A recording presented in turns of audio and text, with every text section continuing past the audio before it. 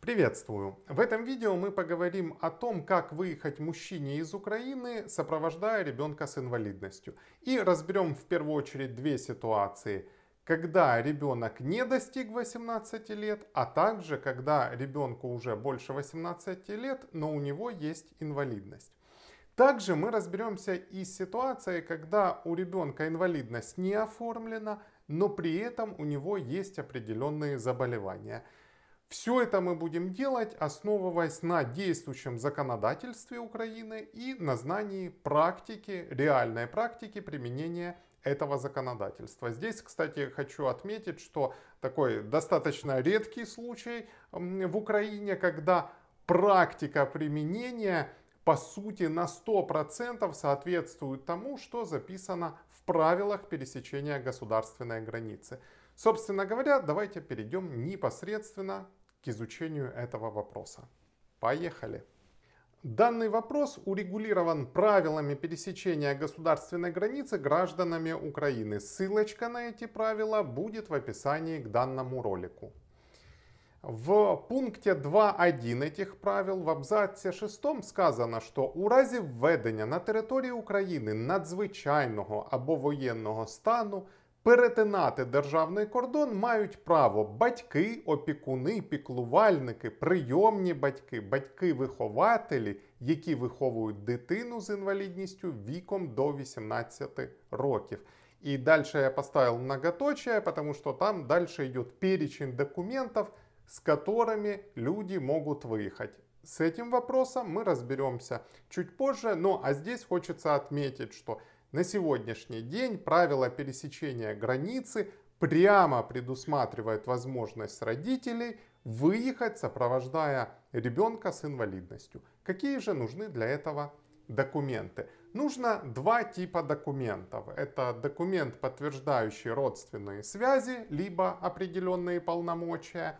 То есть это может быть свидетельство о рождении ребенка, да, ну и большинство, собственно говоря, выезжает по нему. Ну, если человек является опекуном, попечителем и так далее, то, соответственно, э, дополнительный другой будет у них документ. И второй документ, который нужен, это документ, подтверждающий инвалидность.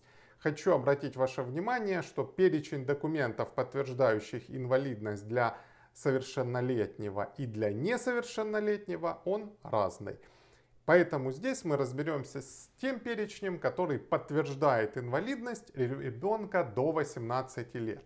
Правила пересечения границы предполагают 4 таких документа. И для выезда нужен один из них. То есть любой из этих документов, если есть, то можно уже выезжать.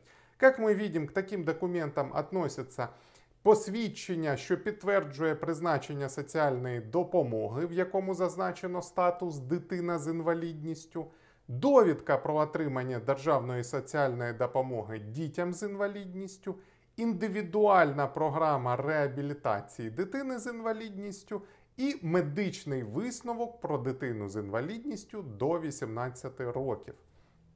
Хочу обратить ваше внимание, что нужен только один из этих документов, а не все четыре. Документы могут быть представлены на границе как в оригиналах, так и э, в нотариально заверенных копиях.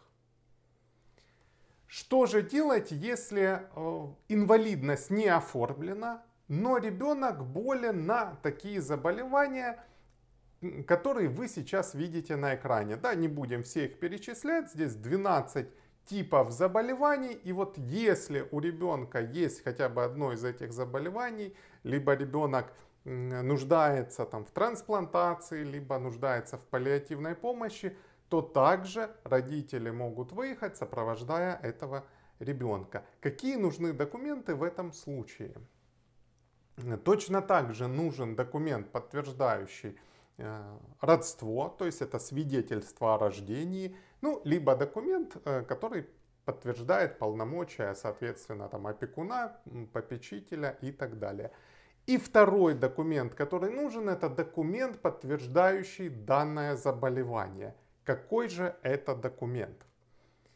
Документом, который подтверждает э, наличие одного из этих заболеваний, является либо довідка про отримання державної допомоги на дитину хвору на тяжкі перинатальні ураження нервової системи и так далее. Да? То есть я здесь э, сократил э, полное название этой справки. Либо же довідка лікарсько-консультативної комісії закладу охорони здоров'я о наличии, соответственно, вот этих заболеваний.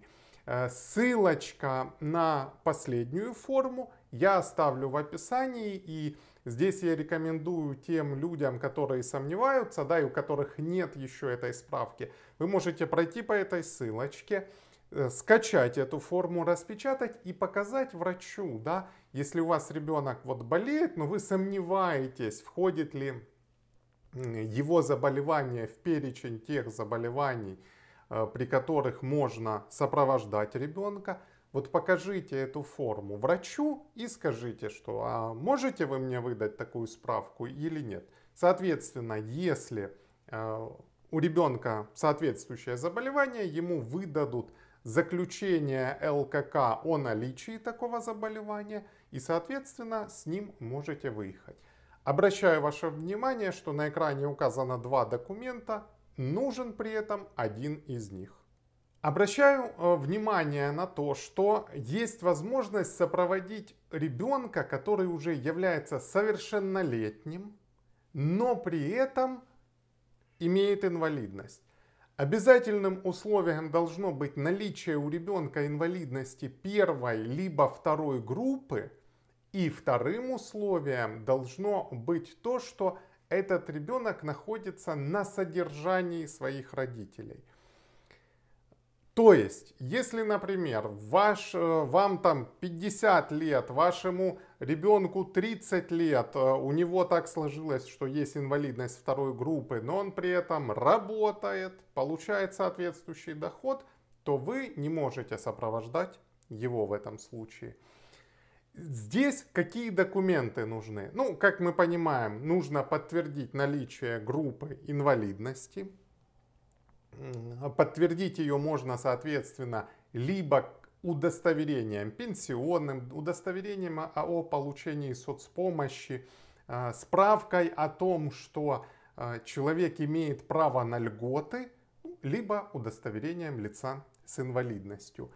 И, э, конечно же, нужно свидетельство о рождении. Но и я бы еще рекомендовал к этим документам добавить документы, подтверждающие, что ребенок действительно находится на вашем содержании, потому что на границе могут поинтересоваться, да, несмотря на то, что в правилах это не предусмотрено, но бывает так, что говорят, а ты докажи, что ребенок на твоем содержании находится. А как ты докажешь? Ну, во-первых, если ребенку до 23 лет, и он учится то вы можете показать, что там ребенок является студентом, этого уже будет достаточно и дальше вопросов не возникнет. Но если ребенок старше, то я рекомендую вам получить справку о доходах ребенка. Сделать это можно через ДИЮ, то есть зайти на сайт ДИИ и там вытащить эту справку. Для чего? Чтобы показать, что у ребенка нет никакого другого официального источника дохода. То есть у него вообще нет источников дохода. Максимум, что у него там может отображаться, это пенсия либо социальная помощь. И в принципе в этих ситуациях, показав такой документ, пограничники воспринимают его достаточно хорошо и можно будет выехать, сопровождая своего ребенка. Сколько раз можно пересекать границу вместе с ребенком? На сегодняшний день никаких ограничений не установлено. То есть можно ездить туда-сюда хоть каждый день. А что делать, если ребенок уже за границей? Да, если, например, мама с сыном, там, с дочкой выехала заранее, а вы остались здесь, и при этом у ребенка есть инвалидность, то в этом случае вы можете выехать. То есть не обязательно, чтобы мама с ребенком заезжали в Украину. Вы можете выехать самостоятельно. Документы нужны те же самые, то есть документ, подтверждающий инвалидность, либо там орфанное заболевание, свидетельство о рождении, Но и плюс к этому нужна еще справка о том, что ребенок стоит на консульском учете в той стране, где они пребывают. То есть мама должна сначала обратиться в консульство, поставить ребенка на консульский учет, получить, соответственно, справку, вот эту справку отправить вам, и вы уже с этой справкой можете, соответственно, выехать без э, непосредственного присутствия и сопровождения ребенка. Итак, как мы с вами видим, на сегодняшний день правила пересечения границы разрешают мужчинам во время военного положения и мобилизации выезжать из Украины, сопровождая ребенка с инвалидностью. Хочу обратить ваше внимание на то, что для того, чтобы выехать, сопровождая ребенка, вам не нужно обращаться в ТЦК и СП за получением отсрочки, либо получением какого-то разрешения на выезд. То есть для выезда вам достаточно тех документов, о которых речь шла выше. От ТЦК ничего не нужно. Друзья, если вы считаете, что данное видео было полезным, поставьте ему лайк, подпишитесь на мой канал.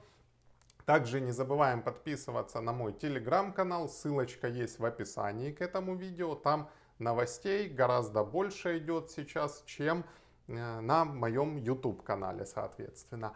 Напомню, что с вами был Олег Лукьянчиков, адвокат, кандидат юридических наук. Желаю вам удачи, благополучия и, конечно же, мира. Пока-пока.